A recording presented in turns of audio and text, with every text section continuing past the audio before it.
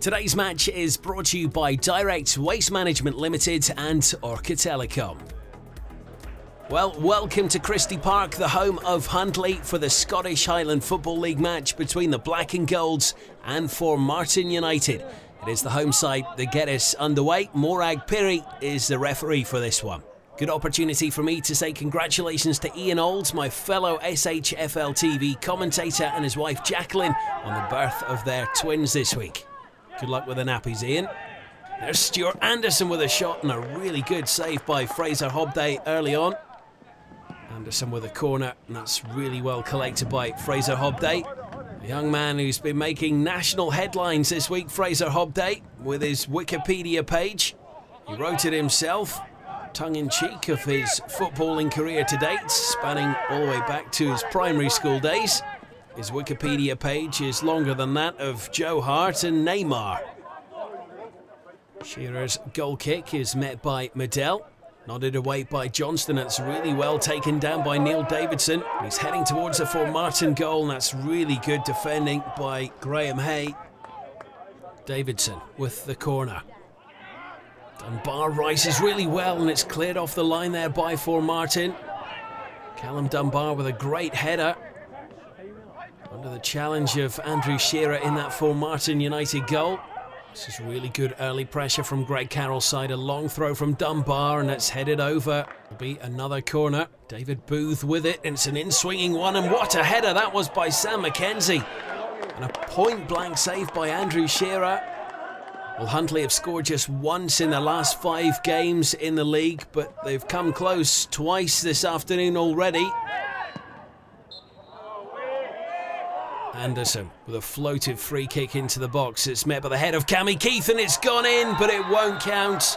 The referee's assistant on that far side, Ewan Jarvie, spotting Cammy Keith, just straight into an offside position. United with another deep free kick towards the captain McKeown. There's Hay with the attempted effort, but Huntly managed to clear their lines. And here's Neil Davidson looking for the run of Callum Dunbar, and he's away. But again, the offside flag Another deep ball looking for the head of Stuart Smith, who does well. There's Madle, and he's bundled to the floor under the challenge of Sam Mackenzie. Really reckless by Sam Mackenzie. Marek Madle at his back to goal, and Mackenzie just bundled into the back of him. It'll be Cammy Keith Formartine United. Four goals in his last five games. Make that five in six. Formartine United take the lead from 12 yards on 20 minutes. Cool as you like from Cammy Keith. His side-footed effort sending Fraser Hobday the wrong way and Formartine United take the lead. Stuart Anderson in midfield Formartine. There's Napier on the far side. Good feet by Napier. His cross is over everyone though. It's picked up by Stuart Smith. Swung back in but collected by Hobday. Madle with a good header. Gets another foot in, the big Czech, and he continues his run into the box. There's Madle, but Napier's cross was overhit. Corner for the away side. There's McKeown with the header, and that wasn't too far wide from the captain.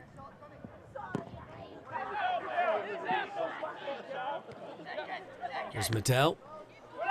And Madle again. Stuart Smith slides in. Ball will come back to the big Czech striker. He's looking for support. Stuart Smith offers it to him. David Booth rushes in for Huntly. And Madle does well to win a corner.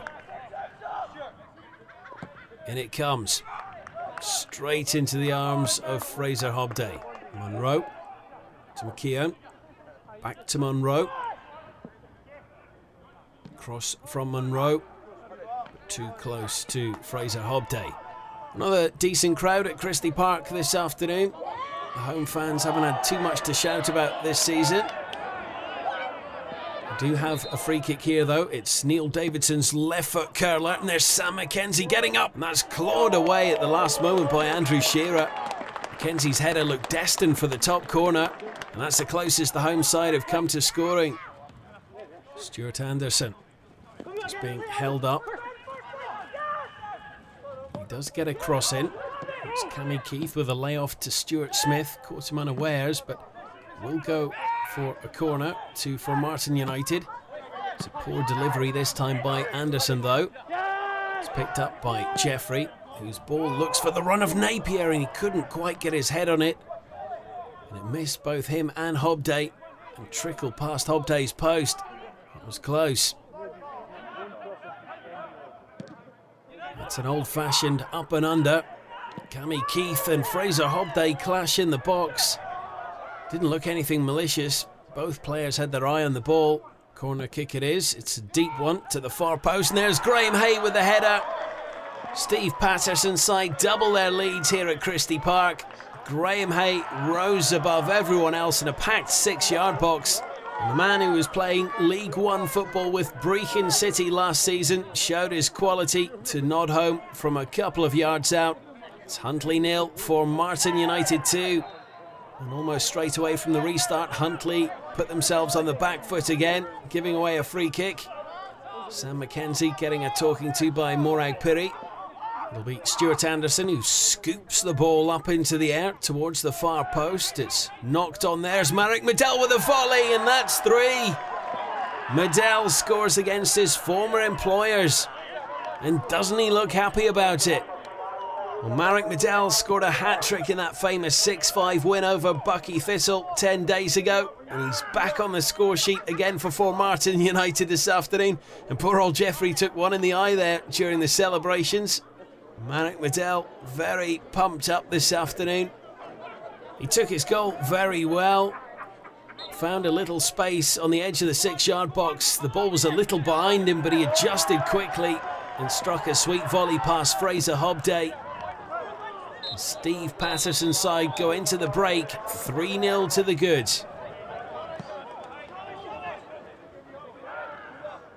Second half gets underway at Christie Park. It doesn't look great for the home fans. The black and golds find themselves 3 0 down to Formartine United, but they did have a few opportunities early in that first half. And Greg Carroll's obviously encouraged his players to start the second half as they started the first. Here come Formartine United again, though.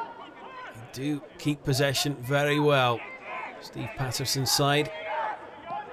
There's Craig McKeown. Paul Napier with a great cross. And there's Cammy Keith. And what a header by Cammy Keith. He's a striker in a rich vein of form at the moment.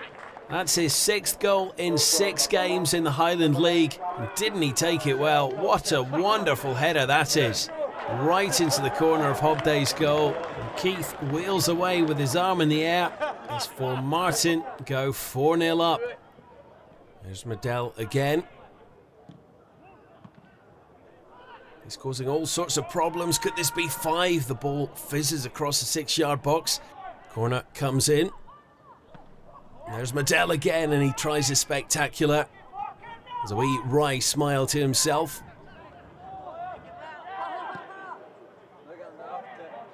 Seeing plenty of the action this afternoon. There he is again. And again, Madle, he's made himself available. A good left footed cross, and it's headed on and just cleared by Huntly. There's the captain, Craig McKeown. Half cleared by Huntly. It's floated back in towards Madle, but this time picked up by Fraser Hobday. Big kick by the teenage goalkeeper. Jeffrey and Makrovicius vying for that ball. The substitute it's been lively since he's come on. Makrovicius, there he is again, just running into an offside position though. Booth for Huntly, and that's a strong challenge that by Stephen Jeffrey of Formartine. Morag Pirie's pulled up play here, and she'll have a word with Stephen Jeffrey. And in fact, she goes to her pocket, and that's a yellow card for Stephen Jeffrey. His studs were showing there as he went in to challenge David Booth. The free kick comes into the area and it's met by Sam Mackenzie on the head. Just wide though. Stuart Anderson forward to his namesake Stuart Smith. Cammy Keith's in the middle and it doesn't quite reach him. It's good goalkeeping by Hobday. Jeffrey forward to Madle. Great turn by Madle. He's got some time and space and then overhits the cross. That's frustrating from Madle, but he does win his side a corner. Here he is again. He's found Napier, who swings one into the far post, and that's really good defending by Mark Lawson. The two captains coming up against one another there. Davidson for Huntly. He's done really well there, Davidson. Swings a left-footed cross, and there's David Booth with a header. Well, David Booth can't stay away from Huntly. It's his fourth spell at the club. He's scored three goals so far this season. That could easily have been four. And credit to Huntly. They're 4 0 down. They're hassling and harrying, though, and they've won the ball back here. Cruikshank with it, and he really ought not to have shot there. There were better options for Cruikshank. That's a bit of a wild challenge by Craig Dorrit, but Morag Pirie says play on. Dorrit was red carded against Inverurie last week. Pirie saw nothing wrong with that challenge. And Huntly just have their tails up here for a second. There's Neil Davidson with a header. Couldn't quite find the target though. Andrew Shearer's goal kick. Land for Blair Johnston. Johnston with a wonderful ball out to David Booth on that far side. Booth's crosses over Makarovicki. It'll land at the feet of Davidson, though, who had to really hit it first time. But he should have found the target again. He's still a young player, is Neil Davidson, just 23 years old. He won multiple Player of the Year awards at just 21. Two goals so far this season for Davidson. That's really good goalkeeping by Andrew Shearer, just to take the pressure off his side. Formartine, win the ball back with Jeffrey. Jeffrey finds Madle, but that's intercepted by Davidson. It's a great ball for David Booth. David Booth through on goal here, one on one against Shearer, and Shearer makes a wonderful save. Well, that was Huntly's best opportunity of this second half. A wonderful through ball for David Booth. But Andrew Shearer made himself big in the goal and David Booth couldn't find a way past. Here comes Madle, another really strong challenge by Craig Dorrit in that Huntly defence. Again, Morag Pirie said it was fair though. Hey, finds Smith. In turn, finds Cammy Keith. Marek Madle. A float across to the far post. And there's McVittie, and that's five. A great header by Neil McVittie and a wonderful move by Formartine.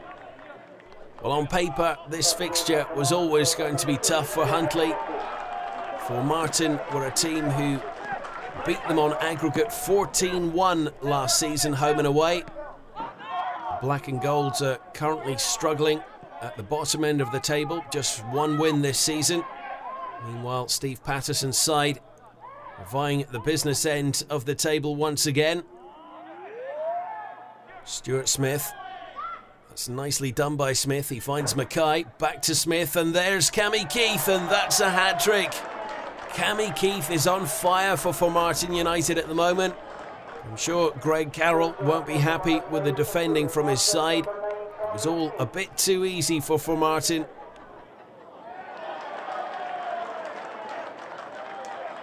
Napier loses out though. There's Neil Davidson. 1 2 with David Booth. Neil Davidson does really well there. It's fallen at the feet of David Booth, whose shot is well parried by Shearer. It's another one of those in swinging corners from the left foot of Neil Davidson. But that's easy enough for Andrew Shearer. Good distribution by the keeper. There's Callum Dingwall. Mackay to Anderson. Out now to Napier with a bit of space. That's really good defending. Napier unable to beat his man. Well, Huntly will just want to hear the full-time whistle from Morag Pirie now. Formartine have been relentless in their pursuit for more goals. And here's Napier again. Well, at 6 0 up, he can have a wee smile about that. Napier. Stuart Anderson, great ball to the hat trick hero, Cammy Keith. He cuts it onto his right foot. There's Keith, and what a save by Fraser Hobday. Well, if that's the SHFL TV save of the season come May, he'll be updating his Wikipedia page. And he might have more work to do here. Here's Dingwall. And that is going to be the last action of the afternoon. Morag Pirie brings proceedings to an end at Christie Park. It's finished Huntly nil Formartine United 6. Steve, a 6 0 win over your former club here kept an unbeaten run in the league at Christie Park going. Well, I, I think Huntly were a bit unfortunate today because I think that's the best we've played for about two months. You know, right through the team, I thought Andy Shearer, you know, was influential in getting us a clean clean sheet. He had three excellent saves. Our finishing was clinical. Cammy Keith, Mark Medell were at the top of their game. I thought my back three were absolutely solid throughout and my midfield were creative and we were getting a lot of width. You know, crosses, really good, I think th three or four goals for crosses. So as a manager, I couldn't be more happy because, you know, we had a disappointing 90 minutes last Saturday and it's always important to, to you know, react and get a response for your players and I certainly got that today, so I'm really uh, proud of my players today. The first 20 minutes, there's not much in it. They've had a few chances, obviously more of the ball than us, but that's to be expected there. But the penalty is a killer. Big Sam doesn't have to challenge, just let whoever it is, whether it's Marek or Cammy, is facing the touchline. Why do we foul him? They're saying they win the ball, but as soon as you challenge the back of somebody nowadays, there's a good chance you're going to, the ref's going to give a penalty. So you just didn't even, you take out the equation. And if it's then, then we kill ourselves two minutes at half time. We've got big lads in there, Loss, Sam, Dorrit. We shouldn't be giving goals like that. We need to just mark our man. I think we're guilty a ball watch now. I think over a picture day we ball watched. I think obviously a really good disappointing since Wednesday, but boys Stuart Anderson, Biscuits, they're quality players. They're playing higher levels for a reason. So if you give them time to play, which we did today, just I think you just got to stand beside them.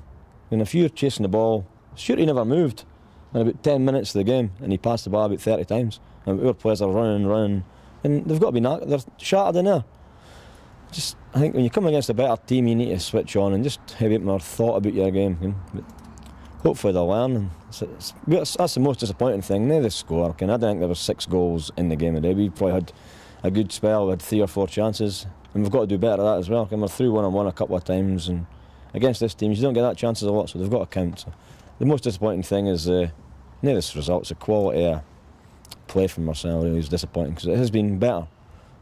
Huntly were protesting the penalty which led to the opener. What was your view?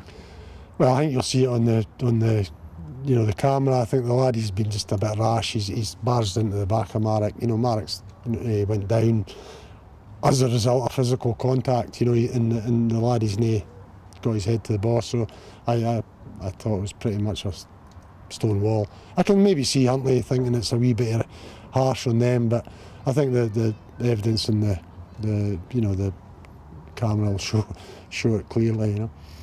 Cammy 6 0. When hard trick for yourself, um, started with the penalty.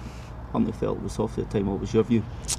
Um, it was a it was a, a, tough one. You know, it's one of them you've seen them giving, you've seen them haven't. Obviously, Marek's been sort of bundled over. We all claim for it, and I think Morag seemed to give it um, straight away. I think they actually had a similar one in the second. I thought they probably could have got, but all you can do is you know play the decision. Given a penalty, and then it's just a case of dusting myself down and, and putting it away. And two very well taken headers. Yeah, it was a couple of good headers. It was um, nice to get a hat trick. Obviously, I got, I got six hat tricks last season. I hadn't got any this season. I had a few two goal games, and I was I know I hadn't got three, so it was nice to get three today. And obviously, nearly the fourth there. And the, the keeper's pulled off that that worldie of a save. I'm sure that'll be on his Wikipedia later certainly looked like it was heading for the top corner. Yeah, I thought that one was there when it left my boot. I thought it was flying in the top corner. So, but no, it was a good save to be fair. And Marek, first game back at Christie Park since leaving the club in the summer. I know. Goal and an assist. I know it was uh, it was a decent game. I did really enjoy it. I was uh, kind of worried um, before we came in. You know, I mean, you never know your former club, but uh, I think we uh, we did well. I'm uh, happy that like uh, all the fans were fine as well. Um, the partnership is going well on and uh, off the pitch as well. I think uh, me and Cammy understand each other real well, and uh, just the goal shows. Uh, I got a hat trick last week. Uh, Cammy got today, so we're banging the goals. Hopefully, we're gonna carry on the same same way all the time. Mark's been tremendous for me. He's been a fantastic signing. Um, great ability, really good work rate, and he complements whether he's playing with Cammy, Keith, or, or uh, Stuart Mackay or, or Callum Dingwall. He's, he's just a really, on his day, he's a top striker and, and he's getting goals now as well. You know, I think that's about eight or nine he's got. So, you know, I'm delighted with him. And Cammy, you know, at times, sometimes this season, you know, has found it difficult. You know, he's, he's obviously going to be tightly marked, being a, you know, such a top striker, and uh, it was great to see him getting getting a hat trick again and getting you know, he's, he's still up in the scoring charts. Yeah, it's been great. I mean, um, Marek's also got a, a, little bit more pace than myself, so uh, he does a lot of my, my, running for me. But it's been a great partnership, like Marek said. We get really uh, get on really well off the pitch, which I think is important as well. You know, you get on well with someone off the pitch, then you tend to you want to do well for them on the pitch. So we've, we've struck up a really good partnership in the, in the short time that, that Marek's been here. So long may it continue. And you'll know that you've got to be kept on your toes. So the likes of Stuart McKay coming off the bench and Callum too. That's it. I know. I mean, it was you know one of the reasons I, I came to Formartine in the first place was um, you know I maybe got in a, a, little bit of a comfort zone at Keith. Um, it was time to to take on a new challenge. Um, you know, I know I have to you know fight for my place every single week and be on top of my game. And at the moment, I've been in a, a decent decent run of form. Um, and yeah, me and Marek have really got the in amongst the goal recently. Turriff United versus Inverurie was always going to be a close affair. Dean Donaldson's header for Inverurie was cleared off the Turriff goal line in the first half. Nicholas Gray's effort for Tara, which fizzed wide, were the clearest openings in a cagey first 45. Things did open up in the second half as both sides sniffed the possibility of all three points. Craig McCaskill came close with this effort. Inverurie's goal machine Neil McLean had a snapshot, but it was straight down the throat of Kevin Main. The Chuff Chuffs made the short trip up the A947 to cheer on Inverurie, and they may have begun to think it wasn't their night. After great work by Martin Bavidge, David Ross was unable to guide his header on target. Dean Donaldson couldn't have struck his shot any sweeter. It beat the fingertips of Kevin Main and rattled off the woodwork. In this game of chess, the momentum then swung back the way of the home side. Turriff's James Chalmers found himself on the edge of the area, but his efforts sailed over. Gary McGowan twisted and turned to try and find an opening in the Inverurie defence, but he found the Loco Works in stubborn mood. And when he did find an opening, Scott Matheson pulled off a quite incredible save.